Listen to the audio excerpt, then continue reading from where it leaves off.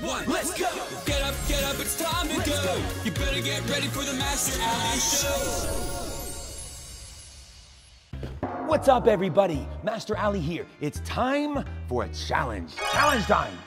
Here's what I want you to do, friends. I want you to ask your parents for their cell phone number.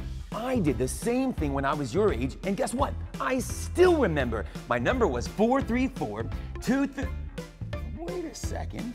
I'm not gonna tell you. They told me to keep it a secret for emergencies. I almost told you. So, do you accept my challenge?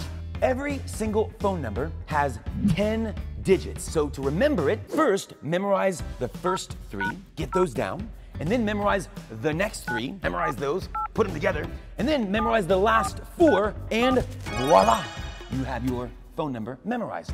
Now listen carefully. Here's why this is so important. If you were to ever be separated from your mom or your dad or family and someone had to help you, a police officer or another caring adult, if you know their cell phone, you can give it to the caring adult and he or she can help you find your family. Make sense? So, do you accept Master Alley's challenge? Yes. Good.